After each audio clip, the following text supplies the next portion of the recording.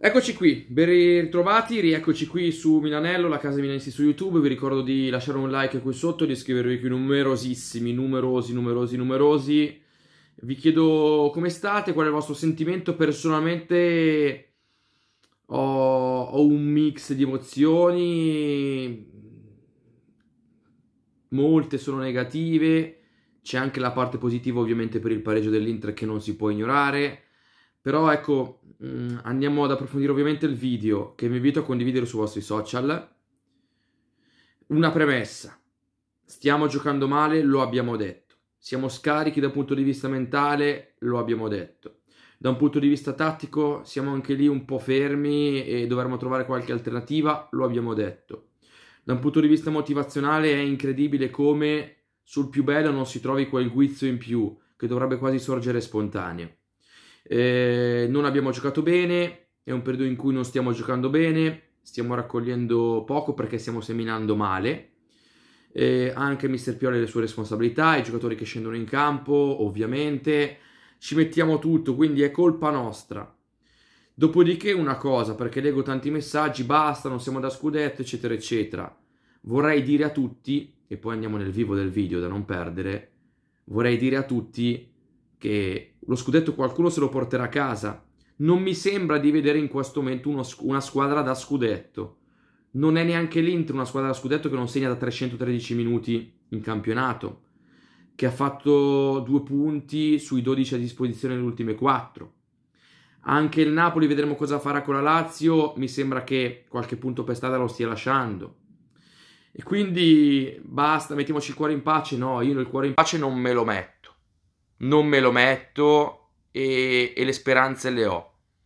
Purtroppo c'è sempre questa situazione del mangiarsi le mani, detto che però, pensate, un tifoso interista in questo momento, loro giocano sempre dopo. Noi ci mangiamo le mani perché giochiamo prima e possiamo mettere pressione e non lo facciamo. Loro giocano dopo, le ultime due, sapendo il nostro risultato che abbiamo pareggiato e non vincono. Quindi mettiamoci anche eh, non dico nei loro panni, ma dal loro punto di vista eh, anche loro stanno lasciando molto e anche loro vivono un momento negativo. Negativo per negativo eh, si va avanti e si vede chi uscirà per primo dal momento negativo. Attenzione ovviamente anche al Napoli, la Juventus un po' distaccata però potrebbe rientrare, non dico nei giochi, ma nelle speranze. È un campionato particolare, quindi prendiamocela con noi stessi, ma non solo e ora apro un capitolo a parte. Quindi la premessa, non voglio essere frainteso, non stiamo giocando bene, siamo scarichi da un punto di vista fisico, mentale, lo stesso Paolo Maldini lo ha detto, dopodiché apriamo un capitolo a parte.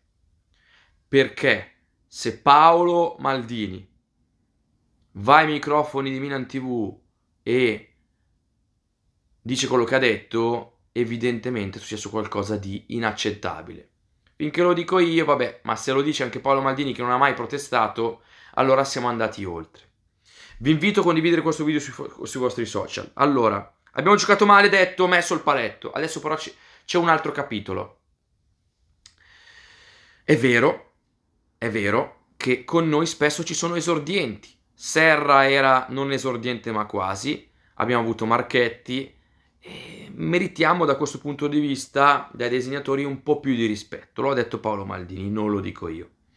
E, ieri c'è stata una gestione dei cartellini pessima. Su Leao è stata fatta una caccia all'uomo, ha rischiato di farsi male, si è fatto anche male, poi mh, è rimasto in campo fortunatamente, ma quel fallaccio che eh, ci ha fatto tutti spaventare non è stato neanche, ehm, non è stato neanche dato il giallo in quell'occasione Così che poi hanno continuato a fare falli, dopo un po' ancora Teo Hernandez, poi ancora Leao, sempre da quella parte. Gestione dei cartellini un po' problematica. Non ci aggrappiamo a questo. Eh, non ci aggrappiamo neanche al fallo di mano evidente al limite all'85esimo, punizione lì che può essere molto interessante. Non ci aggrappiamo neanche a quello. Paolo Maldini dice, lo imputa all'arbitro, perché è gestione dell'arbitro, si è giocato pochissimo. Pensate che, e poi arriviamo in escalation, rimanete lì e condividetelo sui vostri social, eh, se vi va ovviamente, però è importante, così ci facciamo sentire anche noi.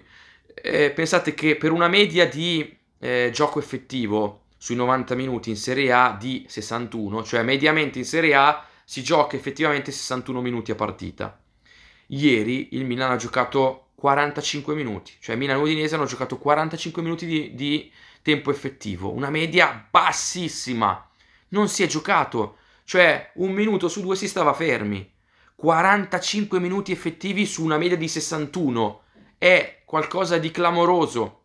Hanno iniziato dal primo minuto loro a perdere tempo.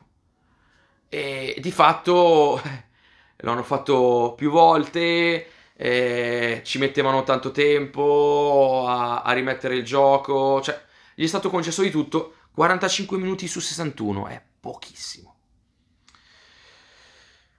Ci sono due fatti, uno è clamoroso, l'altro è clamoroso. Pr- Andiamo prima su quello più eclatante, del quale tutti parlano, però ce n'è un altro che secondo me è altrettanto clamoroso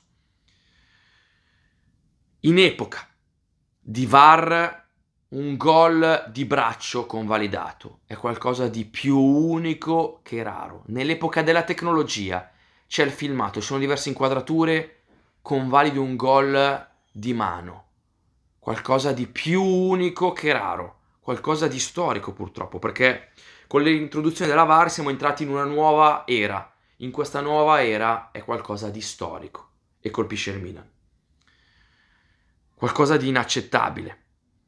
Perché, in questo caso è il VAR, perché guida non vede bene le immagini? Come fa a non vedere? Perché non sta lì un po' di più? Perché c'è fretta di... Perché? Perché? Perché? Ma poi, se hai un minimo di dubbio, vedi il giocatore che manco esulta, che dice ai compagni è per occhio, che guarda là, che manco esulta, ma di che cosa stiamo parlando? Perché non controllare bene, prendersi 30 secondi in più, un minuto in più? Se c'è il dubbio perché non va lì anche l'arbitro, perché l'arbitro è un esordiente e come gerarchia è sicuramente sotto guida. Ma perché mettiamo l'arbitro allora esordiente? È qualcosa di inaccettabile nell'epoca del VAR. Eh, no, è una contraddizione in essere. Potevi accettarlo prima, il braccio di Adriano nel derby, vi ricordate? Altre situazioni non si può accettare nell'epoca del VAR. Mi spiace, ma non si può accettare. È qualcosa di clamoroso. È uno scandalo. Chiamiamolo per quello che è, guardiamoci negli occhi. È uno scandalo. Senza se e senza ma, senza attenuanti, senza giustificazioni. Perché a lissone col VAR non le immagini. E non si possono ignorare certe cose. Convalidare un gol di braccio nel 2022 col VAR. Voglio dire un'altra cosa. Poi, ripeto, dieci anni dopo Montari festeggiamo con un braccio di mano in epoca del VAR. Dieci anni dopo il signor Buffon che dice se l'avessi visto, come se non se n'era accorto, se me ne fossi accorto non avrei detto all'arbitro. Dieci anni dopo siamo passati a Udoghi che dice mi è andata bene. Cioè qui un secondo dopo Udoki parla ai microfoni, intervistatrice dice ma non è che non hai esultato perché l'hai presa di braccio? Cioè si è accorta l'intervistatrice, non si è accorto l'arbitro, non si è accorto chi è il VAR e il giocatore che dice eh sì, mi è andata bene. Ma vi rendete conto? Abbiamo giocato male, però in questo ha ragione Pioli.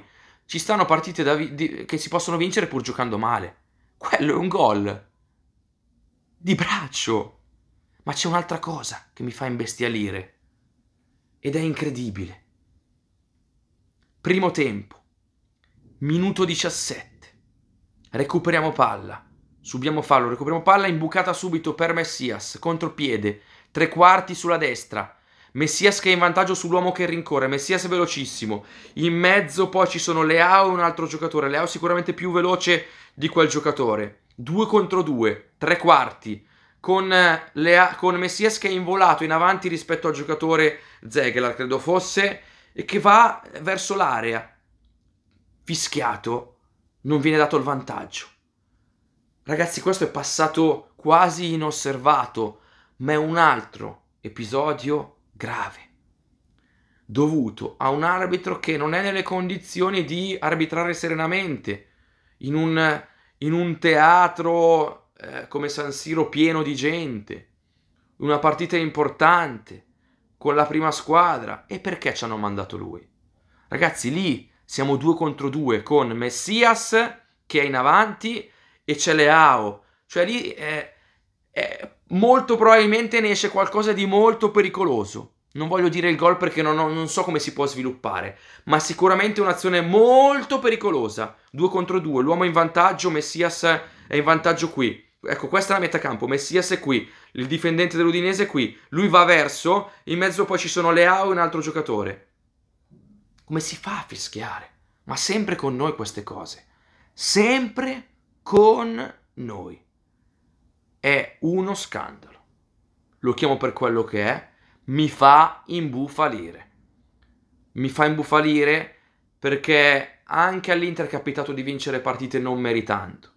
Ieri poteva essere la nostra occasione. E invece, nell'epoca del VAR, della tecnologia, della moviola in campo, viene convalidato un gol di braccio. Non vuole essere un gestaccio, anche se mi piacerebbe farlo. Scherzi a parte, ragazzi, è qualcosa di incredibile. Ripeto, gestione dei cartellini, tempo effettivo 45 contro una media di 61, è clamoroso.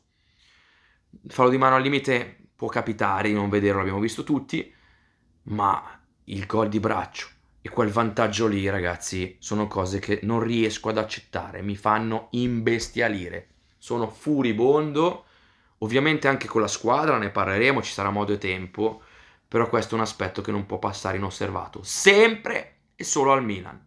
Sempre e solo al Milan. Ma andremo oltre su questo filone arbitrale, andremo oltre, cioè lo proseguiremo su questo aspetto, proseguiremo anche sull'aspetto ovviamente te- tecnico-tattico, ma parto da qui, o meglio, questa mattina ho dato le pagelle, ho dato tante insufficienze, anche a Pioli ho dato 5, qualcosa che è successo ieri è di incredibile, è, è, scandaloso, è uno scandalo.